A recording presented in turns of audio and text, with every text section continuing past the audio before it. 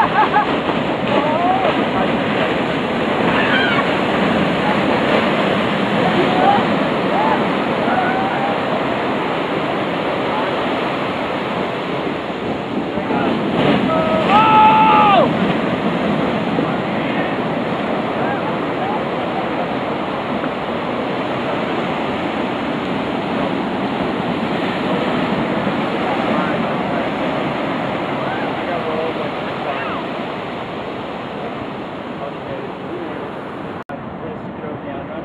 Uh, you know what? Uh, I was just up at Sandpiper playing that goal. It's five feet up there.